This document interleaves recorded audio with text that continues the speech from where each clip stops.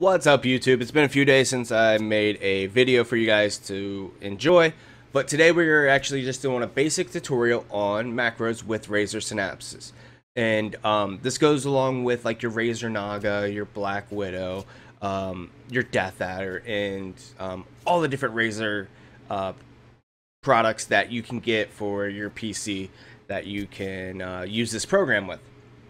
And this is just going to be straight basic, you know, dumbed down.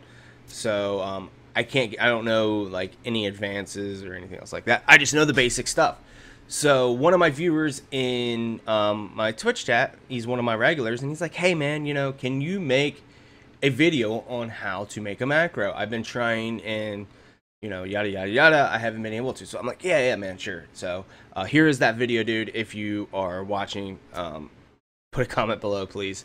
Um, so let's get right into it. So you open up the program and it's usually in your taskbar or whatever else like that. So let's go into macros, macros, macros, macros. And that is for my CM wizard. So we're going to change the macro name to 513. Record 513. That's it. Stop. And then you go right into your mouse. And let's go to side view and let's pick the number two keyboard function, and we're going to switch to a macro. Sign macro 513.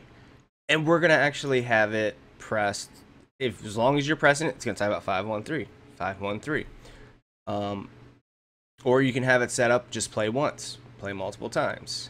So, click on save. Let's bring up the notepad. And we just press 2, 513, 513. Look at that. Um, sometimes you want to put in a delay so I don't think you're, you know, botting or anything else like that.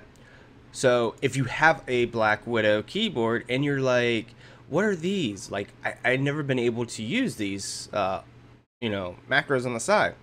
Well, you're in luck. I'm going to be able to help you out with that. So you, let's go with M1, just like how we did with number two.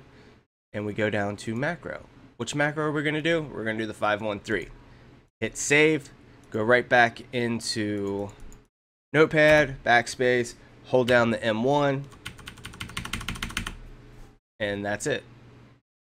Um, you can change it up if you like to macro to just press it once. There you go. And it's just going to play it out. So, hope you guys like the video. Um, if you guys do like these kind of videos, please let me know. I love making tutorial videos. Um, it's one of my favorite little things to do.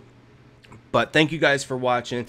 If you get guys did like it, please thumb it up, put it in a comment, and also uh, subscribe. We're close to 100. I think we're at 99 subscribers. So that'll be really, really cool to hit uh, 100 subscribers. But thank you guys for watching. Have a fantastic day.